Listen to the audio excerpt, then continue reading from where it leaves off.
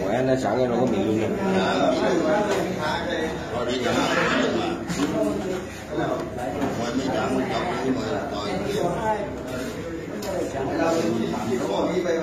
Thế มันน้ำหนักมันมีปัญหาเลยไหมยังเรา ทำมาร้อยเท่าไหร่ปกติตั้งร้อยสิบเจ็ดร้อยแล้วทำได้แล้วทำได้แล้วอ่แล้วลงมาก็น้ำหนักไปมามาเองมาเจ็ดนึกมาบอกเราตอนค่ำท่านมาเลยมันมาตอนค่ำแล้วให้เรากิน บอลหนักบอลเบาก็ถือว่าน้องสู้ได้ดีเลยนะจริงใจเนี่ยเป็นการหลายคนไม่ไม่ด่าเลยแค่แต่เราก็คุมมาคุมมาก่อนแล้วนี่ใช่ไหมที่ทำให้เกมมันออกมาในรูปแบบนี้ใช่ใช่มันเล็กพอไปก็อีกทีต่อทีใช่ไหม เพราะพอเราต่มีบอสเป็นยังครับเพราะว่าตั้งไว้เต็มคือเลยก็ถ้าไม่ได้แล้วไม่เป็นไรชีวิตนักสู้อยู่อย่างเงี้ยมาแทนด้วยเย็บไหมเย็บดีกว่าขอนี่เลยไงตอนที่จังหวะโดนแทงจังหวะนั้นนี่เรา ทำไมไม่ยอมทิ้งตัวต้องบอกว่าหัวใจเดียผวมก็สู้อะครับ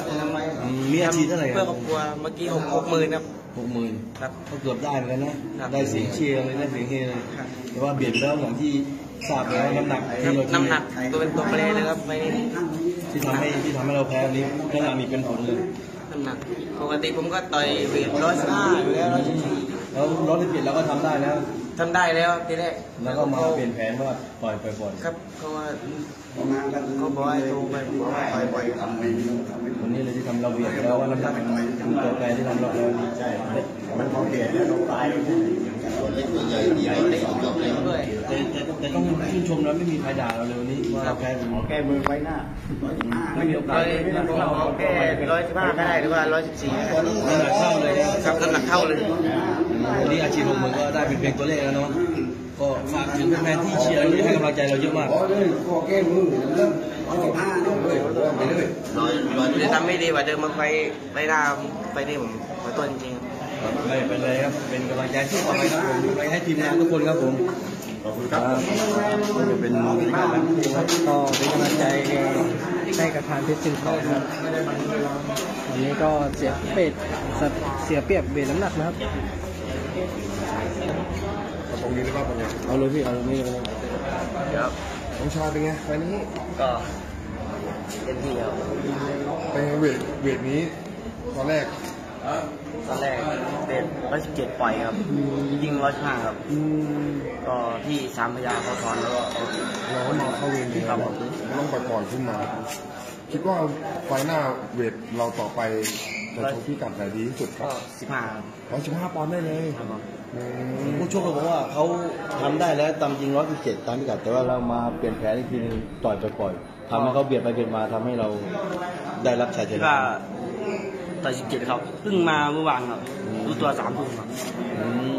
นั่งรถทัวร์มาตั้งแต่อุบนครับมาแทนมาแทนเรื่องที่เจอจากสามพยาอ๋อครับปล่อยปล่อยมาเลยใช่ไหมใช่ครับ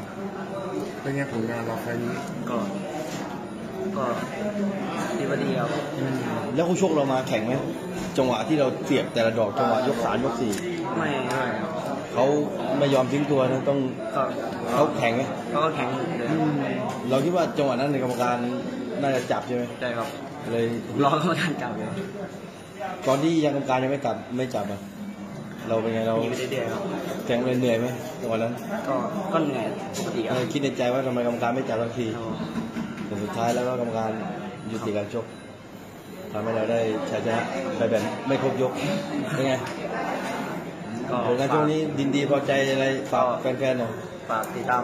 ไฟล์หน้ากับทำดีกว่านี้ครับครับผมก็ยินดีกับชัยชนะด้วยครับน้องนี่เป็นบรรยากาศหลังเกมครับคู่ที่สองของรายการนะเป็นทางด้านเพชรน้องฟานที่เป็นฝ่ายเอาชนะ